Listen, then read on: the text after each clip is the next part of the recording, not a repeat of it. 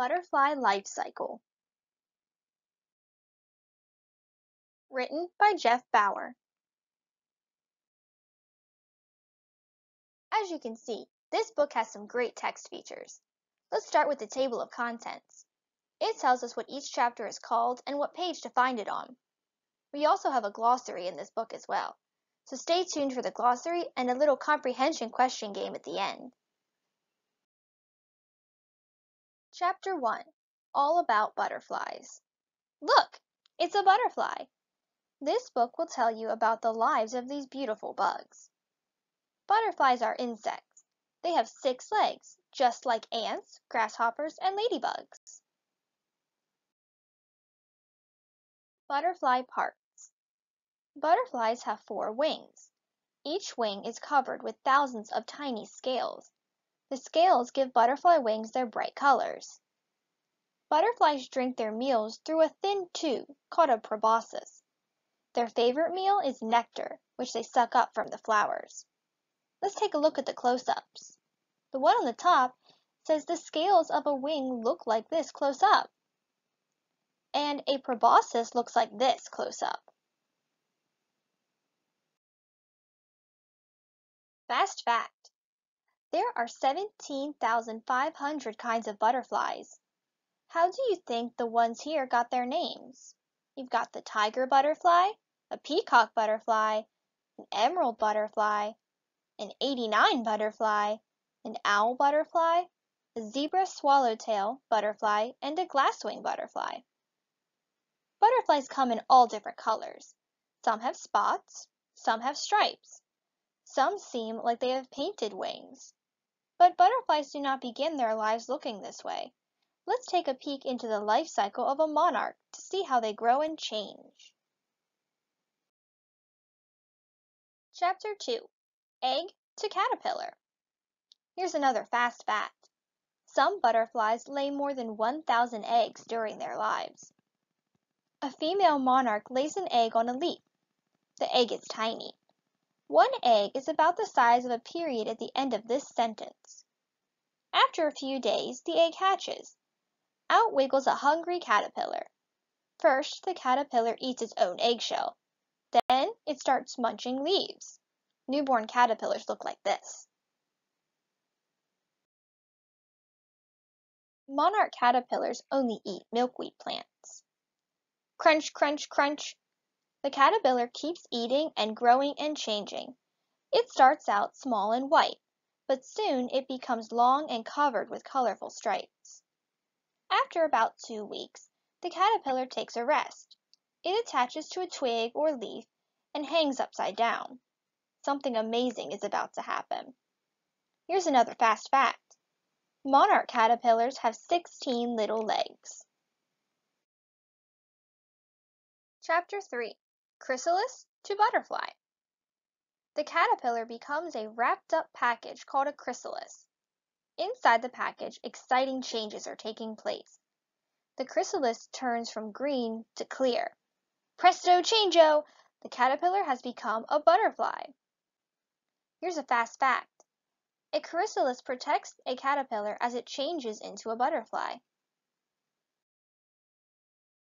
Guess what happens next?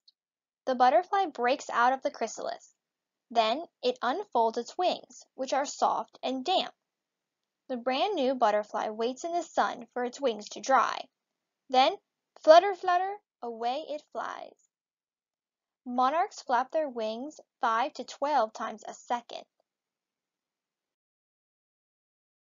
Life Cycle Review Do you remember the four main steps in a monarch butterfly's life cycle? Take a look. On day one, the female butterfly lays an egg on a leaf. By four days, a caterpillar hatches and it grows and grows. When it's about two weeks old, a caterpillar becomes a chrysalis. Then, when it's about one month old, a butterfly breaks out of the chrysalis. The life cycle of a monarch butterfly lasts for about one month. Chapter 4 All Grown Up Monarchs travel in big groups called flocks. In fall, monarch butterflies do what birds do. They fly south for the winter. This is called migration. Some monarchs go to California, and some go to Mexico. Along the way, they rest in trees. This map shows where monarchs migrate. Some travel 3,000 miles. Here's our last fast fact. Monarchs are poisonous to birds and other animals. Their bright wings say, Don't eat me. In early spring, the monarchs fly back north. A female lays an egg on a leaf. Then, the butterfly life cycle will begin all over again. As you can see, we've reached the glossary. It tells us the definitions of the keywords or words in bold we saw earlier in the book, like chrysalis or nectar.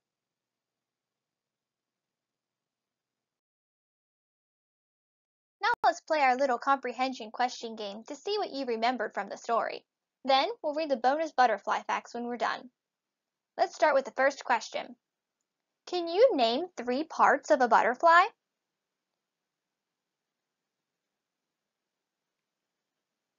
If you said wing, antenna, eye, or body, you were right, and you'll get an extra point if you said proboscis. Let's go on to the next question. Can you share three facts about caterpillars?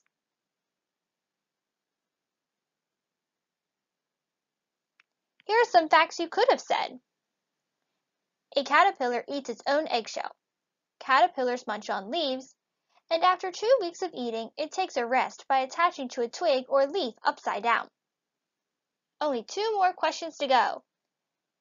Can you retell the four main parts of a butterfly's life cycle?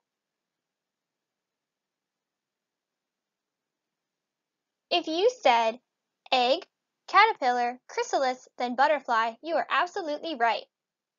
On to the last question. Can you think of four words to describe a butterfly?